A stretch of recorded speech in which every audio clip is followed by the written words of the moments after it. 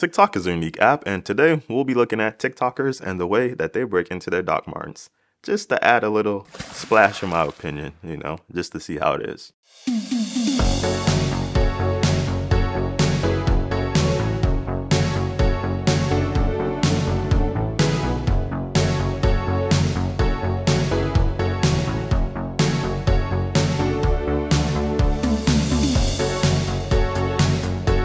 First one is the very famous one, and this one has gotten millions of views. And what she's doing is pretty right. It's correct and it's simple if you have the arm strength. I mean, for ladies, if you don't, what you can do, get your boyfriend, brother, dad, whoever to squeeze it, and then hopefully it should ease up that back part. Because a lot of people do complain that that back area, they get got. Like literally that's where a lot of the blisters happen. So it's very simple. If you do this, it should work. It should ease up the leather. Okay, I'm going to finally try to do it. I've decided I am wearing my Doc Martens every day for the next, I guess however many days. I'm gonna say seven to start with, to try to finally break these in. Ever since I read The Princess Diaries as a child and she talks about wearing Doc Martens, I wanted a pair, okay? I have two other pairs in my closet.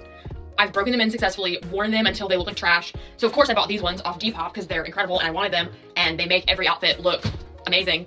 Um, but I've had them for a year and a half and I have never been able to break them in. That said, I got something from Amazon that I think might help. So we're gonna try it out today and hopefully it will keep my heels from uh, shredding to bits while I wear these over the next week. Because if I don't break these in, my heart will just like be broken forever. I posted about this problem that I'm having on Instagram and someone that I know reached out and was like, hey, you should look up um, heel boot protectors or whatever um, because they make these for like 10 bucks. You can get a package and the package that I got came with actually two things of them. So if this one is ripped through by these aggressive shoes, then I have another pair that is backup. Um, but she said that they really helped her Doc Martens be comfortable and you can put them on like on just your foot or over top of your sock. I'm gonna put them on over top of my sock and see how they feel in my shoes. Oh, and to just add to like how much of an old lady I am when it comes to shoes, let me add my orthopedic inserts into these boots before I put them on. Will my foot fit into the shoe with all this stuff in here? I have no idea. Oh no, it's like rolling it up in my shoe when I try to put it on. We can't have that. Okay, I successfully got it in there. I'm sweating, but it's happening. We're making it work. The things that I do for these shoes. Okay, okay, I'm sweating, I'm out of breath, but I finally have them on and it feels a little bit weird, but it's fine. Hopefully it works and time will tell if I'm able to break these in. So this is an interesting video. I mean, these pair of Doc Martens, they, I see them everywhere on Depop. Like people literally resell these because they have a hard time breaking into them. And some people just don't have the patience or they don't do it correctly. Like these ones are probably one of the difficult Doc Martens to break into simply because it's platform. So walking in them is going to be a little bit weird and different. And then the top is the smooth leather, which is one of the hardest Doc Marten leathers to break into. So you have to know what you're doing before even purchase them. So a lot of people will purchase them and then later on they wear them two, three times and they're crying and they're upset that these Doc Martens, they're literally hurting their feet. So finally she's deciding to break into them, which is good. Hopefully it works out. And with that, she has like a series too. So she has a part two and a part three. Let's check out the second one. So here's a little update for everyone who's wondering how it was going so far. I made that video last Wednesday. Today is Sunday. I've worn them three times since then. I did skip Thanksgiving Day because frankly, I did not feel like clomping around my kitchen while I was trying to make green bean casserole and scurry around before people got there. So I did wear Converse on Thursday, but I've worn them every single day since. And I like cannot believe how much this has helped already just within three days. The first day that I wore them, which is when I made that initial video, I put them on over my sock, which now that I've done it a couple different ways, I do not recommend because it started to roll up in the shoe. And I saw a lot of people saying to put it on underneath your sock, which does work better. I have kind of sweaty feet though, so it got a little icky feeling. I'm not even gonna lie. It like it wasn't the most comfortable thing. I wore these underneath my socks all day on Black Friday, and I swear to you, I probably walked two miles. My best friend and I went shopping, and we just like parked in one spot and walked all around this huge shopping complex near where we live. I had backup shoes just in case, but I did not need them. Yesterday was day three of wearing them. My mom and I had to run out to do a short little errand, so I threw them on. I decided not to put on the little silicone heel protectors because I was feeling brave. I was feeling like in my work. And I really feel like wearing them all day on Friday with these has helped soften them, break them in a little bit because I wore them yesterday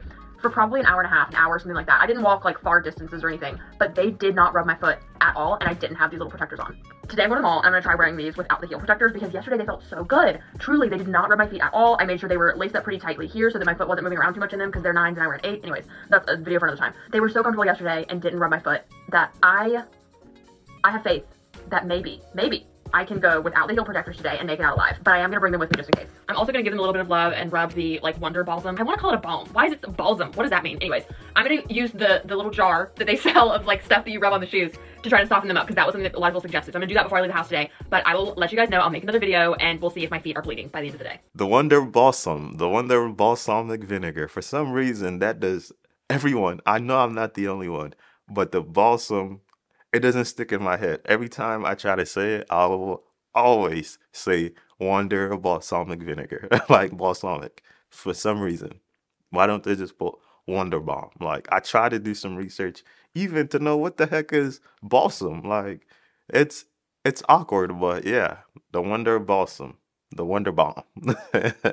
In part two, she actually did some changes, which that silicone thing, she puts it on her feet first and then she put the sock on. But my question is, if you have that, how would it be putting it into like Chelsea boots? Like, I struggle putting my regular feet into Chelsea boots. Imagine if I had that, would it roll up or anything? But so far, she's having good progress. She's doing the right things and hopefully she breaks into them. Let's see part three the conclusion. Anyways, for anyone who's been keeping up, I wore these to the mall last week for Black Friday because I hate myself, but it actually worked out. I think what really needed to happen was the heel area here, which as you can see has some nice crinkles in it now, was too hard and stiff, not broken in enough for me to wear for long periods of time without it cutting into my heel. The way that I fixed that was by first, for a few days in a row, wearing these heel protectors over top of my socks. And a suggestion that really helped was using the Wonder Balm, which is sold by Doc Martens, all over the heel area, on the toe crease area as well, and then using the hair dryer on it to heat up the leather. It is the most insane difference using that balm and the hair dryer because you can feel just how soft the leather is getting from using those products. And while I definitely think I'm gonna still have to keep using the Wonder Balm on them often to keep them soft, I could really wear them for a much longer period of time now than I ever could before. Because I've been wearing them more often, I'm used to how heavy they are, so it's not quite as cumbersome feeling to walk around in them. And they aren't cutting into my heels anymore, which is the craziest part of all of this. I did not expect any of this to actually work. So I'm gonna keep wearing my shoes comfortably and continue to break them in, even though I've got them almost all the way there. I'll let you know if they decide to betray me again. But hopefully for now, me and my Jadon Max Doc Martens can live the rest of our lives together happily without blisters. So part three, very good. She's seeing progress. She's doing the right things. I like how she committed to break them in and she took the necessary steps. She put that silicone thing, it worked for her. And then also she added putting the Wonder Balm. Like literally, a lot of people or some people don't think it's worth it. For me, I think it depends on your Doc Martens.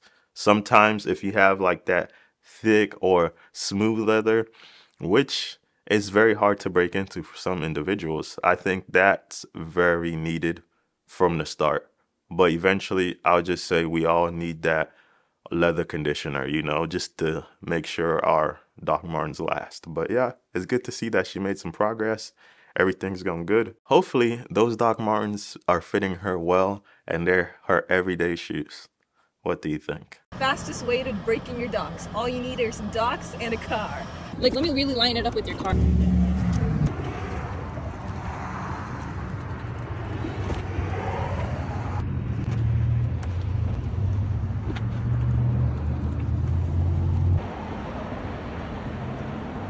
Super comfy. I know this is a joke, but I will never do this. This is not the fastest way to break into your docks. I mean, hopefully other people realize that it's not a joke because $200 could go straight down the drain and yeah, like it's nice, it's cool. She got um I won't say popular, but it, it went viral. Like a lot of people commented and were talking about it. But yes, this is not a way to break into your Doc Martens. There are multiple different ways. This one is just a joke because a lot of people do think that maybe this can work. These are my first pair of Doc Martens. I've wanted one, I wanted a pair since high school, and you guys helped me pick out which pair to get. I'm gonna go return the Zara ones after this as well.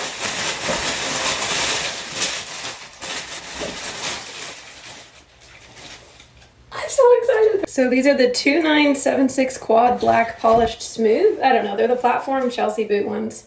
And I'm gonna try them on. I saw a video of a guy breaking in Doc Martens really quickly by like heating them up and putting this leather stuff on them and then it helps but I want to try them first without having to do that and then we'll see but they're so pretty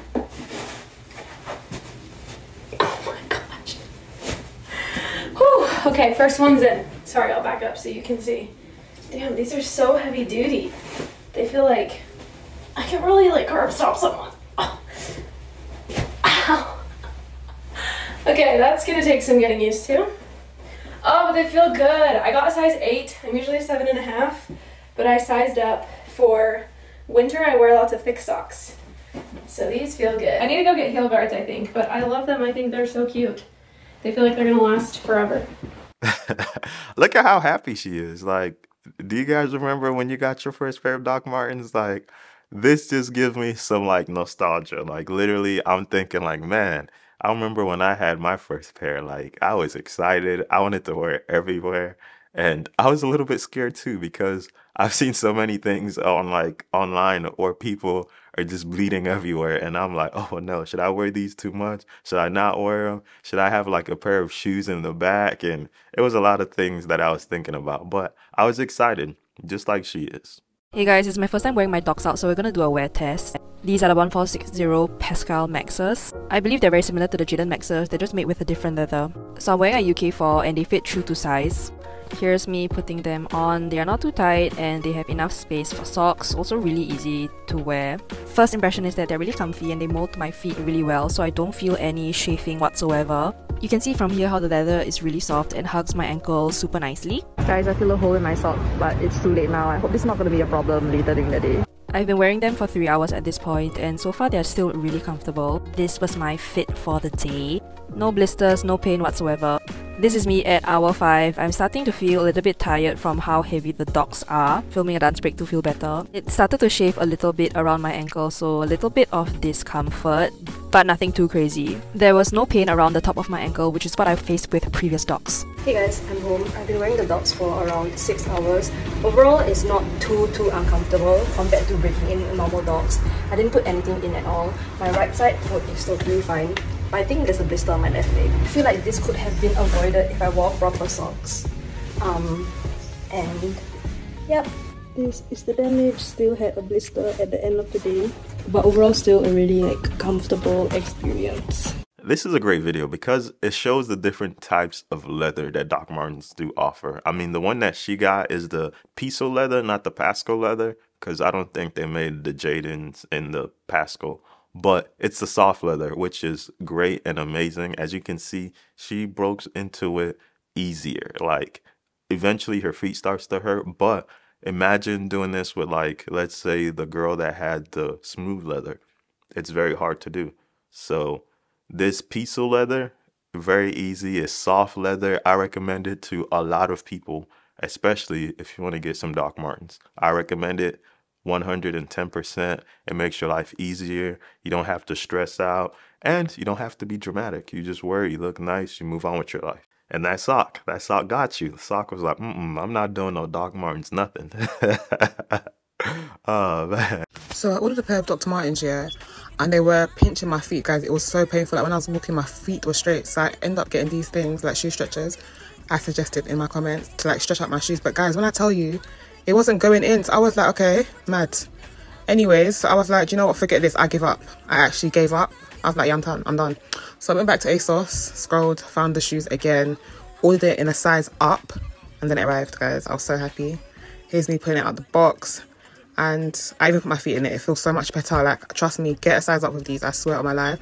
Anyways, the old pair, this is it. Guys, if you want it, come collect it because I put this in the trash. I swear. All right, for dramatic effect, obviously, but mm, she got it wrong, fam. You get what I mean, innit? All right, let me stop. But I mean, she did a lot of things wrong. I mean, she's in the UK. I'm sure she can find a Doc Marten store somewhere, at least to try them on. Those were a little bit tight for her. And for some reason, she decided to buy like the shoe stretcher, which is good, but those are the Jadons. Like, you can't just, like, she didn't know which ones to buy. She bought the wrong uh, shoe stretcher too, and that also affected her results because you do have shoe stretchers for like boots and stuff like that. So I'm happy that she's happy that she want to size up. It fits her. I mean, she could have just tried on some Doc Martens. I'm sure there's some stores online, but I'm coming to collect them big man Jade.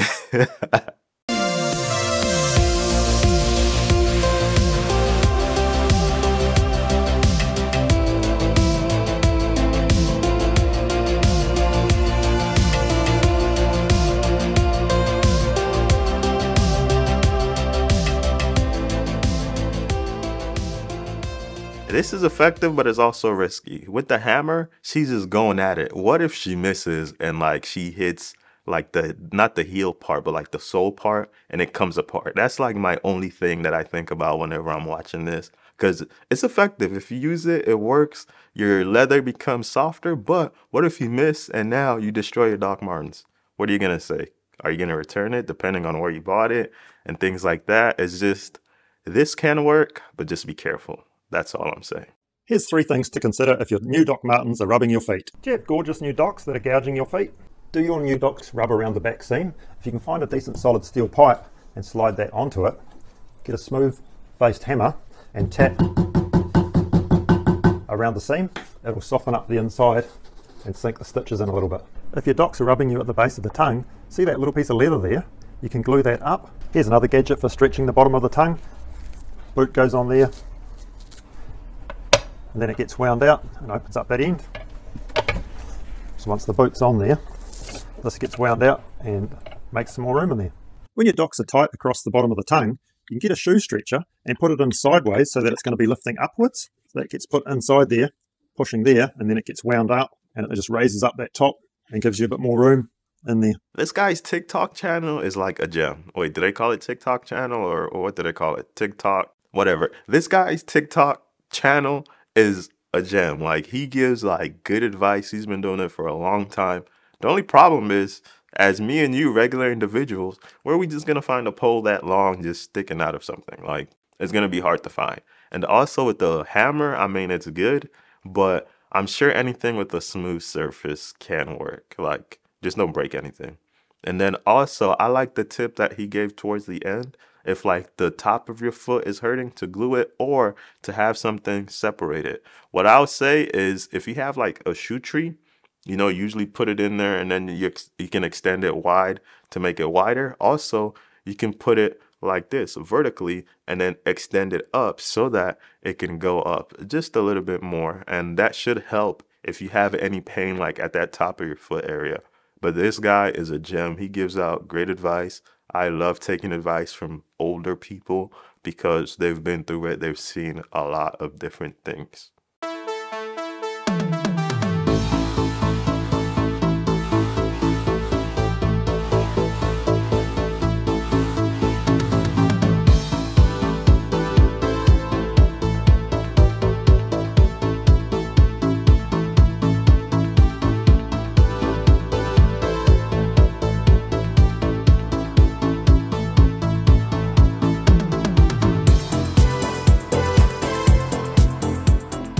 This person is probably traumatized by everything she's probably seen online because those are the vegan Jadons, the ones that I have, and they do not require that much to break into them. Like she's probably seen a lot of things online and she's being very cautious. I mean, wearing multiple socks with the tape on the back of it. Now you're struggling, which is like an overkill. Just for the synthetic one, they're not even leather. So imagine if you put on like the smooth leather, like you might want to go a size up because you're gonna have to have multiple thick socks. Like, mm, it's crazy, but yeah, it's entertaining. I have a Doc Marten hack for you. My boyfriend recently got me these amazing docs for my birthday, and unfortunately they're just that little bit too big. I even went back to the Doc Marten store to try on the size below, and they were so tight that they hurt, and I just knew I'd never wear them. So I ended up keeping the size that I originally got. But I have these silicone heel protectors that are really good for breaking in shoes or just wearing uncomfortable shoes in general, but they also really help with making your shoe just that little bit smaller and your foot that little bit bigger that it actually won't slip anymore. So if you have any shoes that are a little bit big, or specifically these style docs, I've heard from multiple people that they have that same issue. They're kind of an in-between size, so neither fit. Definitely get these and get the little bigger size and they'll fit. So yeah, let me know if you try it out. This is good advice, but the only thing that I'll say is you put pressure on yourself to always have that silicone thing because if you don't, then your feet's going to be sliding back and forth. That's my only thing with this. I mean, if you get a bigger size, it's always going to be big and then you put that pressure on yourself like, "Oh, I always need to carry this around or else I can't wear these shoes." I mean, it's quite unfortunate, especially with Doc Martens, that they don't make half sizes because a lot of people do struggle with that in between thing. Because for me, I mean, I would say if you can go a size down and then try to stretch it out to make it fit, but others they do struggle so much with that in between because hey, sometimes when it's too high or when you size up, it's too big. When you size down, it's too small. So yeah. It's crazy. Also, check out these 10 more ways on how to break into your Doc Martens. Some of them are crazy.